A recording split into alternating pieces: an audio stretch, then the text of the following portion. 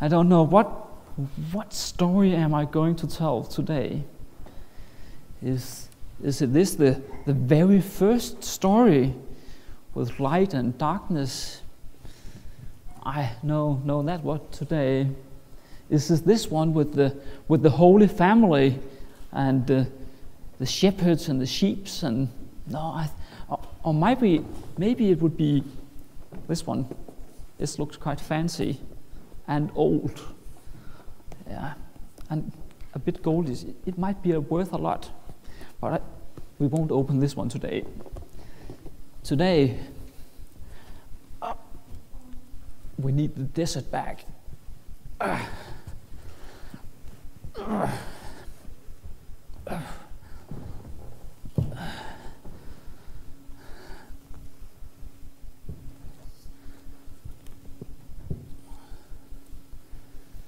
This is my desert bag. You know, a lot of very important and wonderful things happened in the desert. So we need to know what it's like. The desert is a dangerous place.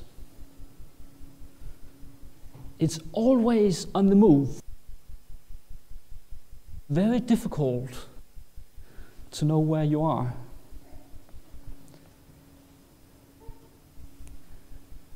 There's very little water in the desert.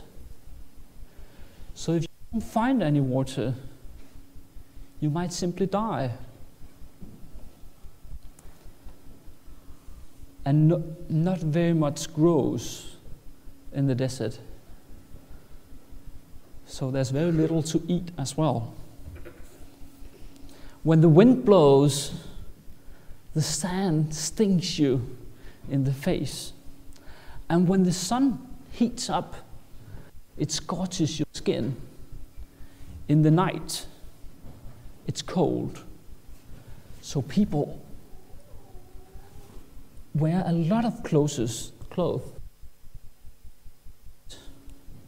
to protect them from the heat, from the cold, and from the sand.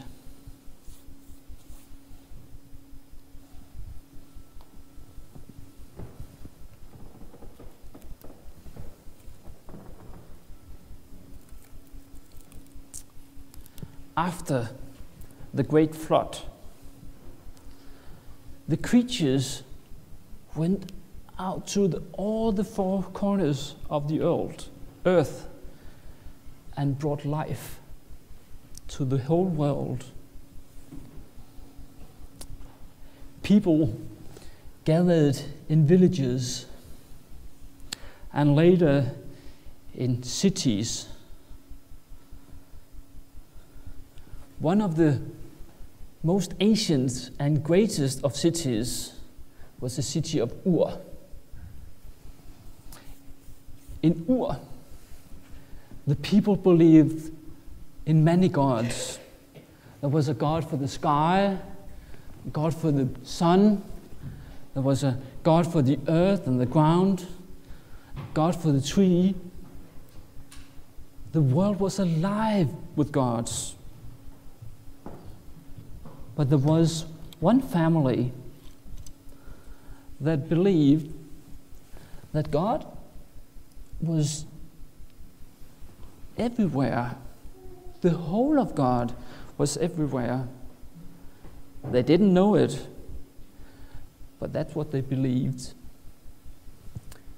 Abraham was part of that family, and Sarai was part of that family. When it was time to move,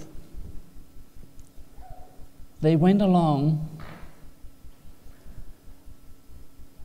with all their cattle and sheep and all their helpers, even the children and the old ones came along. It was a long journey. In the night, they slept in their tents, and in the day, they followed the great river Euphrates, which gave water to them and all the animals. It was a long and hard journey.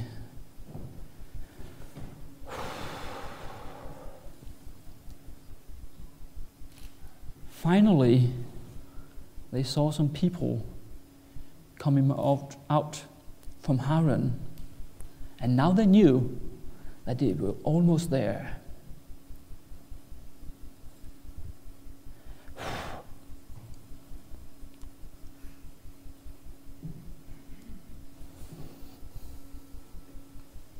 Sometimes Abram went out to the edge of the desert and looked out over the desert and into the sky.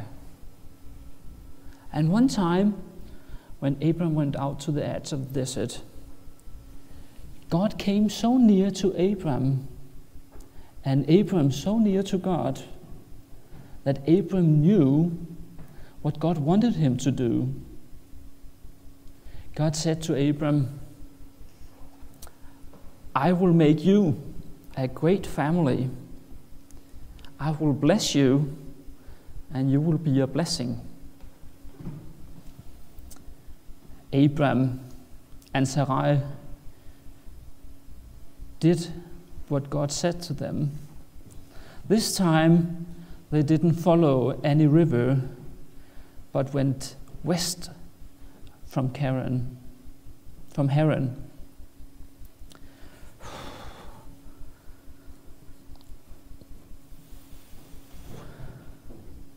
Finally, they came to a place called Shechem. At Shechem, Abraham, Abram went up to the hill and prayed to God, and God was there. So Abram built an altar. And that's praise because God was there. Abram and Sarai moved on.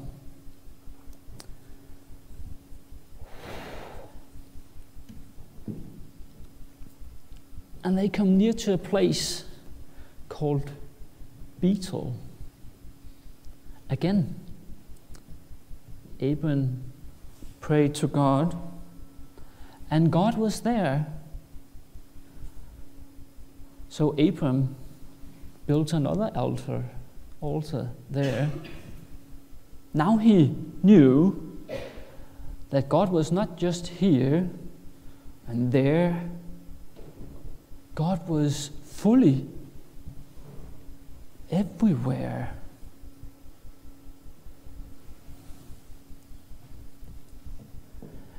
Abram and Sarah moved on and pitched their tent near the oaks of Mamre.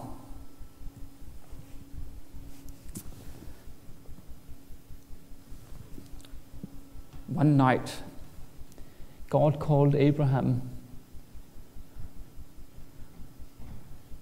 And Abraham, Abraham came out and looked over the desert and into the stars in the heaven. And God came close to Abraham, and Abraham came so close to God that he knew what God said. God said to Abraham, You will be a father,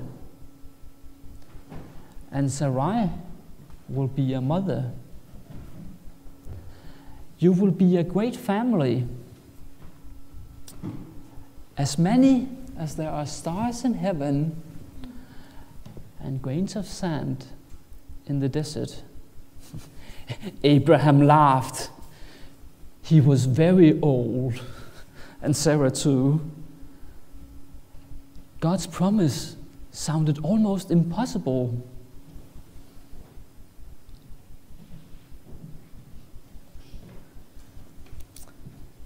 Later, three men came from the desert. Abraham sat by his tent and invited them inside. Sarai made bread out of three meshes of flour. flour. That's a lot. She served them bread and meat and milk and water at his custom. The men said, You will have a son. Sarah, who was standing by and listened, laughed. Both her and Abram was very old. And the men went away. But do you know what happened? A year later, Abram and Sarah got a son. Now they laughed again, and they called the son laughter. In their language, laughter is Isaac. When God spoke to Abram, he actually gave them new names. He was no longer to be called Abram, but Abraham, and Sarai should be called Sarah. When Isaac grew older and stronger, Sarah grew older, and Sarah died old and tired, and they buried her in a cave near the oaks of Mamre. Abraham was lonely. He missed Sarah very much. But he knew there was one thing he had to do. He sent his most trusted servant back to where he came from to find a wife for Isaac. The servant stopped by a well in the evening, and there he met Rebecca. She was as courageous as she was kind, she gave him water and water for all his animals. She invited him home to her family. Abram's helper told about Abraham and Sarah and the great family and Rebecca, when she heard the story, she wanted to be part of the great family. So they went out in the desert together. They passed Shechem.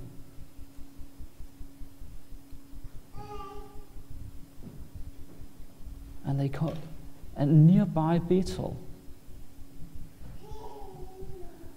Isaac saw them coming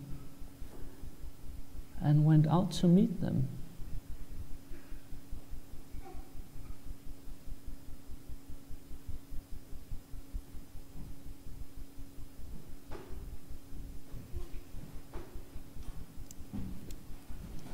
Isaac and Rebekah got married.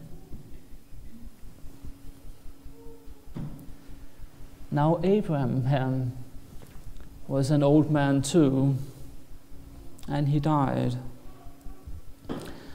Isaac and Rebekah buried her, him next to Sarah.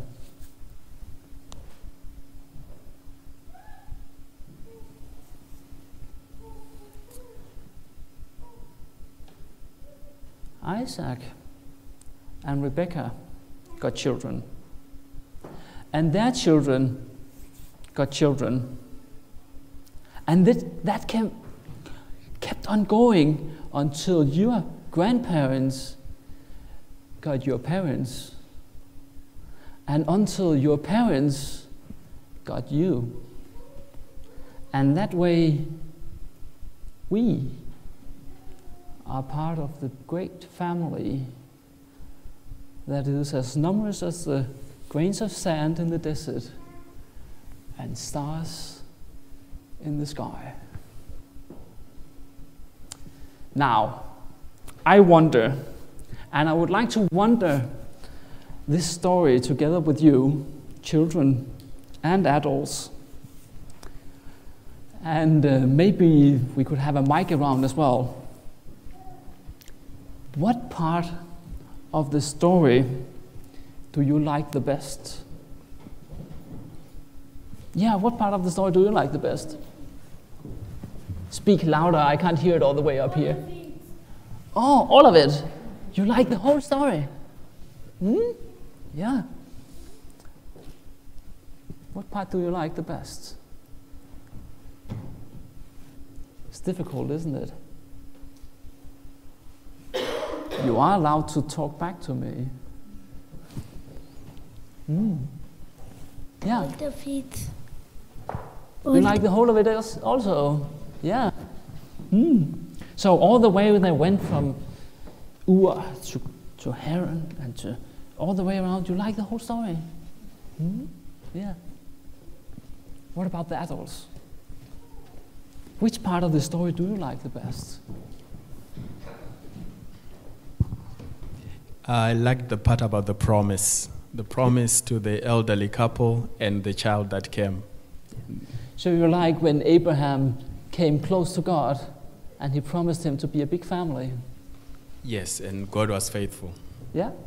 hmm Yeah. I like that part too.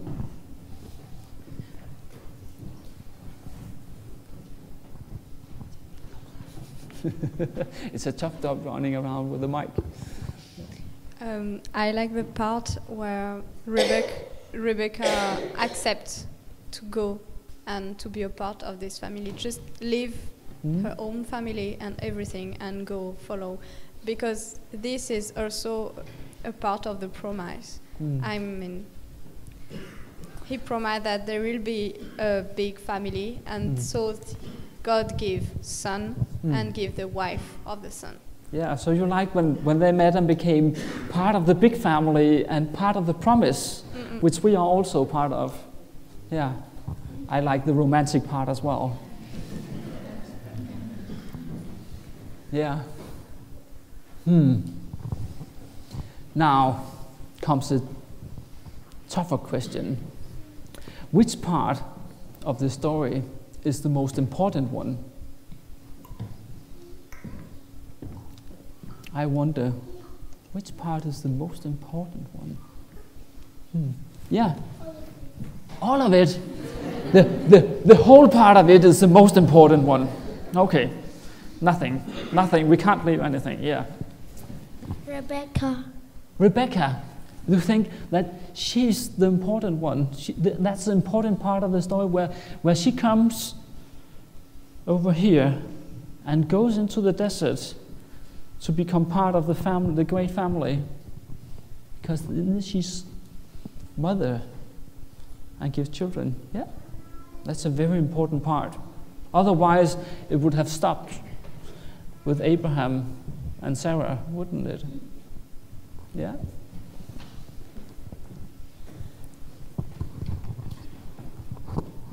Um, I think the most important part is having Hmm? faith. Is having faith in God because if it wasn't for God, Abraham, this story would, this the way um, the story went wouldn't have happened. Mm, yeah, so, so where God met Abraham, that, that was the beginning of the story. Yeah, and the rest wouldn't have happened if God didn't come close to him. Yeah. Now, we need to get a little bit personal. Which part of this story is about you? Or which part of the story is your story? Hmm. Yeah.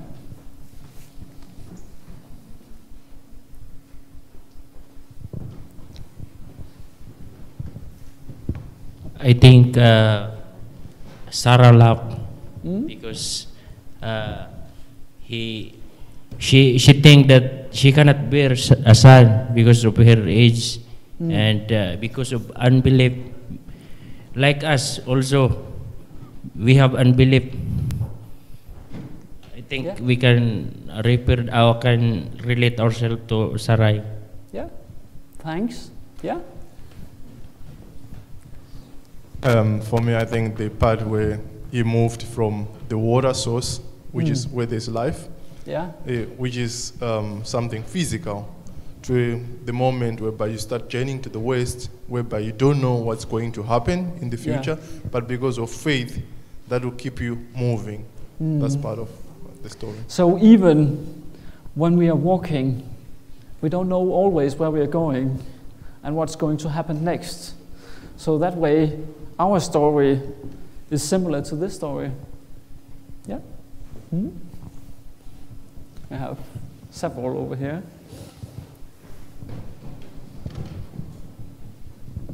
I think uh, we, we all here in this church right now, we can uh, at one point relate ourselves to Rebecca because uh, look at ourselves like we come from different countries, but we are here at this moment in this church praising the Lord. We hmm. left everything that was behind us, but with faith we know that wherever we go, we will hmm. settle, we'll bring fruits. And we, with the faith that we've been raised up, hmm. we hope that those fruits will bear fruits. Like we have children now, and we are trying to bring them Christian life, and we hope that in the in the end they'll also like bring their children like Rebecca did. Hmm, so, no matter where we come from in the world or in this little country, we can always be part of the great family and the story of God. Yeah. Uh, for me, where Abraham realized that God is everywhere. So same as with us, like everywhere we go, God is with us. He sees our all our sorrows and happiness, and in, in that way, because of our faith, we also see God. Hmm. So, the faith of Abraham and his story can be part of our story as well. Hmm. Yeah, Robert. And, and Isaac's name means laughter, Hmm. which kind of tells me God has a sense of humor. Yeah, so, so you find yourself part of the laughing part of the story. Yeah, sometimes God's ways they don't make sense. They they're just funny. And sometimes we laugh at the ways of God. Mm. We can't imagine how it can be fulfilled. Yeah. Hmm.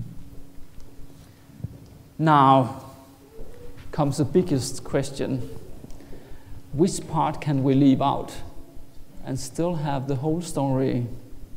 Now we have to let the imagination run wild. Are there any part of the story we can take away and we still have it? Yeah, yeah. Anything we can leave out? I know it's a holy story, and it's a great story of the great family of Abraham and Sarah. But there must be something we can leave out. Come on, help me. Hmm. No one dares. Hmm. Okay, then I will start. I think we can maybe leave this one out. They didn't follow that river, so that's just another one. We only need Euphrat. That was the one that gave them water. Yeah. Hmm. Anything else we can leave out? Yeah, over here.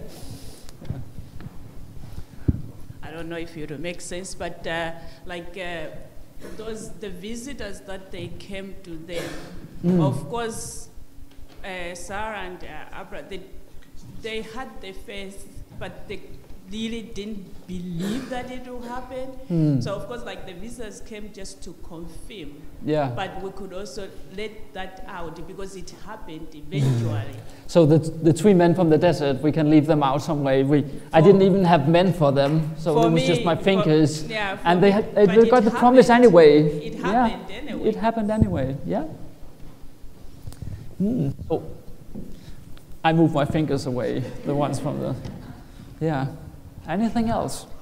The hotel. The, the hotel. I mean. The altar, Yes, yeah, we because could move one of- God is everywhere. Both of them, or one of them. Uh, I I don't know, but God is everywhere, and this was here to significant the presence of God. But Yeah? God is everywhere, so. Mm.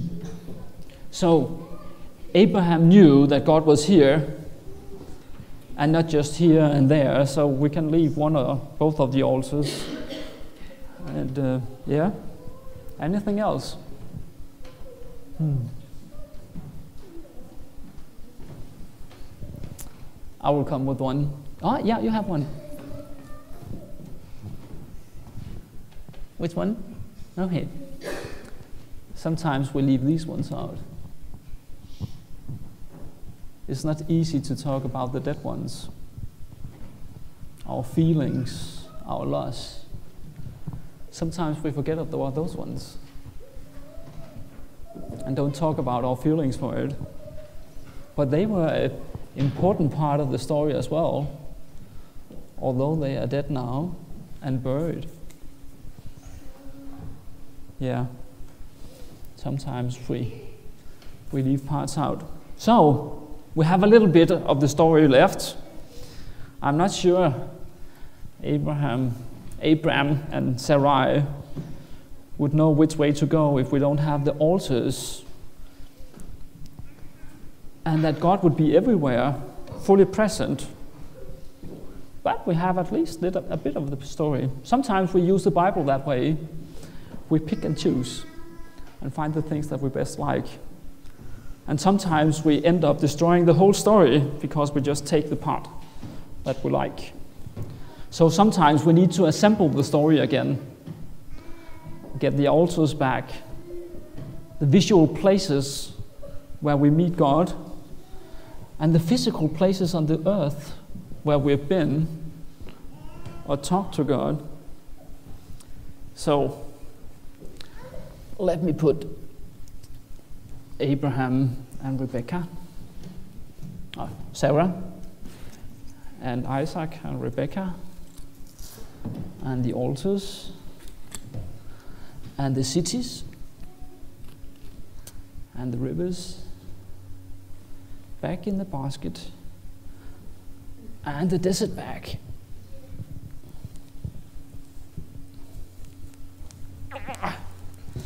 The desert is a heavy place also. Now we put it back here. And now you know when you go up here, you can always find the desert bag and find the story.